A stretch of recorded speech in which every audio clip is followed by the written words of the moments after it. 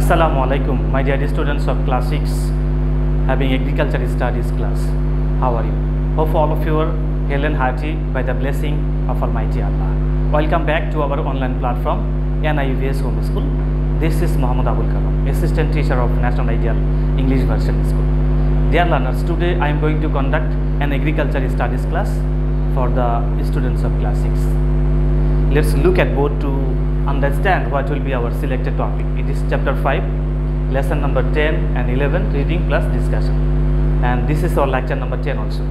So, dear students, uh, we have started read, reading and learning from lesson 5 many days ago and today in our selected class we have chapter 5 lesson number 10 and 11 okay open your agriculture studies book page number 75 lesson 10 titled nutrition and economic importance of cultivable fishes. We can be economically benefited by fish farming. Fish is a very very favorite food to food to everybody. We eat food, fish every day with our with other food items. Today the production of fish is very scanty in comparison to its demand. So we need to meet the nutrition demand of family by fish farming in our our water bodies. Moreover we can earn ready cash by selling the excess product produced fish in the market. The importance of fish is very vital to meet our demands of nutrition to create employment opportunities to earn foreign currency and to ensure social development. The economic importance of fish is discussed below. Fulfillment of the of the demand of nutrition. Fish is the main source of protein in our everyday meal it is a delicious and nutritious food. Protein is necessary for our physical growth and prevention of disease. A grown up man needs 33 gram to 66 gram of protein daily. Animal protein is the best among all the proteins. But currently we eat less animal protein than required.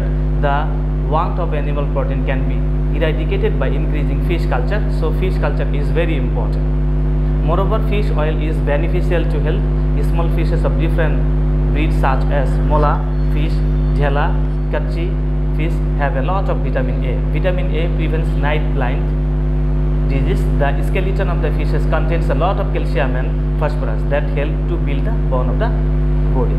Source of livelihood. About 50 millions in Bangladesh, 15 millions of people in Bangladesh earn their livelihood in different ways from fishes such as fish farming, catching fish, selling fish, etc. The opportunities of employment are decreasing in our country as a result of population rise. The scope of uh, employment can be created by the fish farming uh, earning foreign currency. Bangladesh is earning a lot of foreign currency by exporting fish above abroad. 86% of the total earning fee in fish export comes from the export of prawn or shrimp or lobster. It is possible to increase the earning by the increasing fish farm. Socio-economic development. There are many shallow ponds, dishes and canals where fish is not cultivated. We can develop the economic condition of the poor and the low income people of the villages by arranging fish farming in these water bodies. Lesson 11 Importance of Pangas cultivation and preparation of a, of a pond for cultivation. Pangas is a favorite and tasty fish. Once there was abundance of pangas in our rivers, but today, uh, like other fishes, the availability of pangas has decreased for many reasons. Nowadays, pangas is important imported from the Thailand and it is cultivated in our country. This fish has a great demand in the market. Characteristics of a pangas, you will read this. Benefits of pangas, you will also read this. Now we will go to next point, page number 77. It is pond preparation for cultivation. Okay, look here. A pond needs to be prepared before the fry are uh, are released in the pond. The following steps are to be followed to prepare a pond. So look, there are here you will see five points. Okay i am only telling you the name of the points. It is pond bank repairing. Next cleaning the ponds pond destroying carnivorous and unnecessary fishes. Application of lime application of fertilizer in the pond. So dear students with this we have finished lesson number 10 and 11 from chapter 5 i hope that you will read this text at least five times at home. And today we have no homework.